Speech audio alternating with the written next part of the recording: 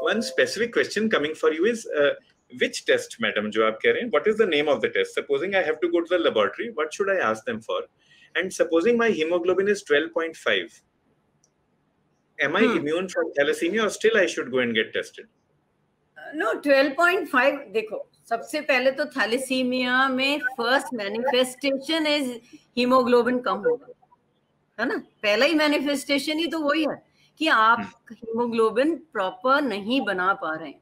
That is the first symptom सबसे पहला चाहे वो थैलेसीमिया देख आप अगर अडल्ट हैं तो अडल्टहुड में तो जाके आपको थैलेसीमिया का कोई खतरा नहीं है है ना? थैलेसीमिया ट्रेट ज़रूर आपकी उस टाइम डायग्नोस हो सकती है हम्म। है ना? पर थैलेसीमिया बचपन से पता चल जाएगा।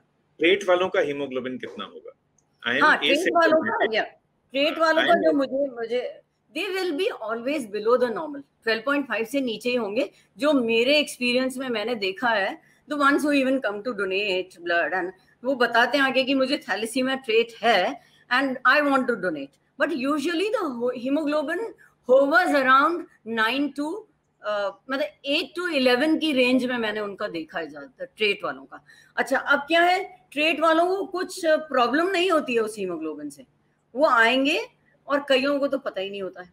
हम जाके बोलते हैं कि आप अगर आपका एट आया है, आपका नाइन आया हीमोग्लोबिन फीमेल्स का ज़्यादातर होता है they take it for granted अरे नहीं, हमारा तो ठीक है।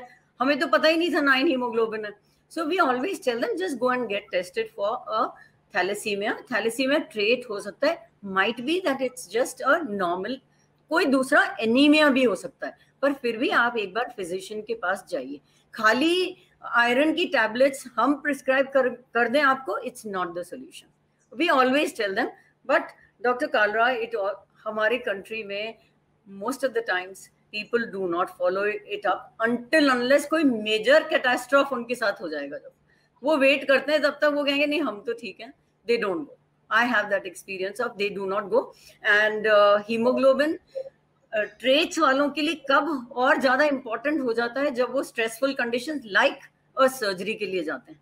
तब उनका हमें मतलब लाइक जो सेवन टू एट या नाइन हीमोग्लोबिन है वैसे तो एट कट ऑफ़ है हमारी सर्जरी के लिए पर फिर भी हम उनके लिए ब्लड रेडी रखते हैं कि they might need it one such surgery is being done so otherwise thalassemia trait is they lead a normal life उनको कोई प्रॉब्लम